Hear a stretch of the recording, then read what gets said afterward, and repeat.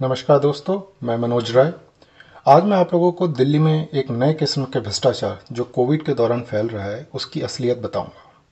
ये भ्रष्टाचार है दिल्ली सरकार और प्राइवेट हॉस्पिटलों के बीच मिली भगत का।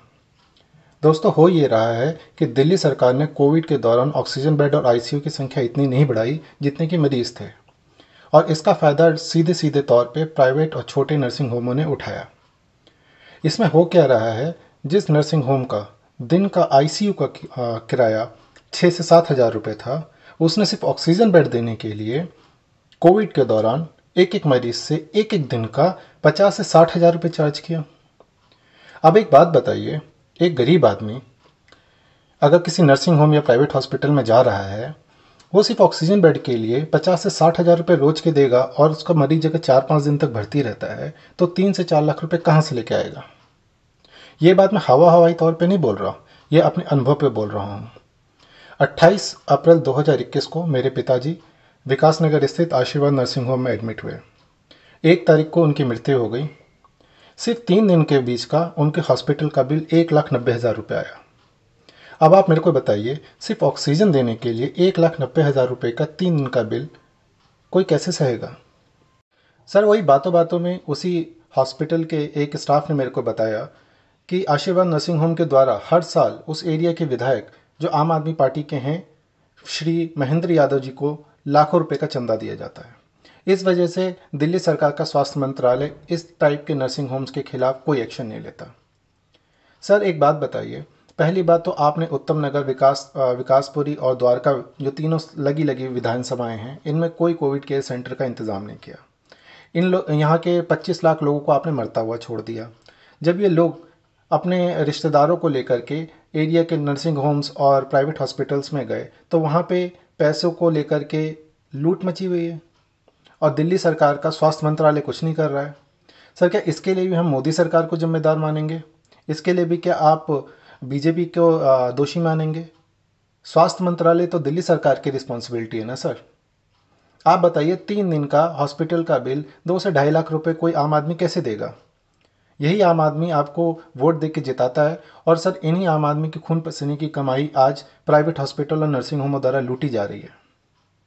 इतना किराया तो सर आईसीयू बेड्स का नहीं है, जितना ऑक्सीजन का ले रहे हैं। और फैसिलिटीज़ क्या हैं सर वहाँ? ऑक्सीजन नहीं रहती, ऑक्सीजन सिलेंडर भी हमें अरेंज करना पड़ता है। रेमडेसिविर के इंजेक्शनों की भी ब्लैक मार्केटिंग हो रही है।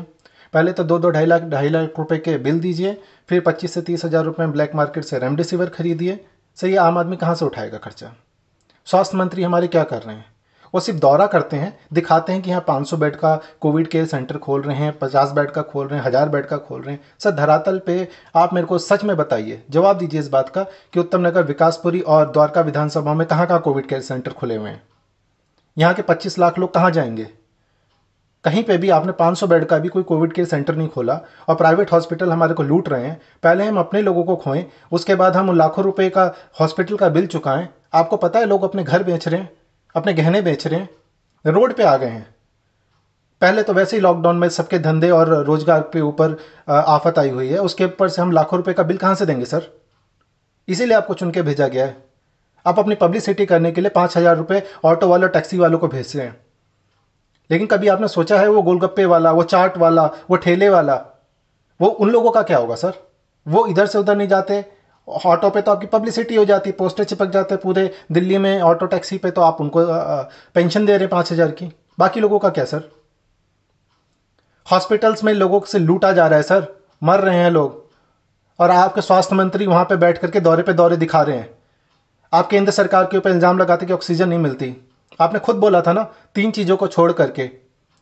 Police law and order and land उसके बाद सारी रिस्पॉन्सिबिलिटी केंद्र दिल्ली सरकार की है। तो अब आप दिल्ली सरकार स्वास्थ्य को लेकर के, आज कोविड में सारे लोग मर रहे हैं, क्या सो रही है? पहले हम अपने को खो रहे हैं, उसके बाद अब हम रोड पे आ जाए। ये चाहते हैं आप? महेंद्र यादव पूरे एरिया में कभी भी नज़र नहीं आते कोविड के दौरान कि वो कहाँ क्या कर रहे हैं। ये आप लोगों की तैयारी है। सर, माफ़ करिएगा, हम आपके सपोर्टर थे, लेकिन अब नहीं। जब ज़मीनी हालात को देखा, अपने पिताजी को मैंने खोया, उसके बाद से बिल्कुल मेरे को आप पे भरोसा नहीं है। आपसे हवा हवाई बातें कर रहे हैं प्राइवेट हॉस्पिटलों के साथ बैठ करके, मिल बांट के खा रहे हैं, और दिल्ली को मरता हुआ छोड़ रहे हैं। सर, दिल्ली की जनता माफ़ नहीं करेगी आपको, कभी नहीं कर सकती। धन्यवाद।